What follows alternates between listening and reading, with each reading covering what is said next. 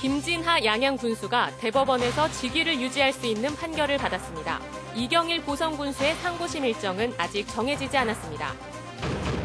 강릉과 정선이 국립국악원 분원 유치에 나선 가운데 강원도의 설립 전략을 모색하는 세미나가 열렸습니다. 어젯밤부터 강원 산간엔 많은 눈이, 동해안에는 많은 비가 내려 겨울 가뭄 걱정을 덜게 됐습니다. 도내 네 곳에 마리나 항만 예정 구역이 있지만 민간업체와 지자체의 갈등 속에 마리나 항만 지정까지는 난관이 적지 않습니다.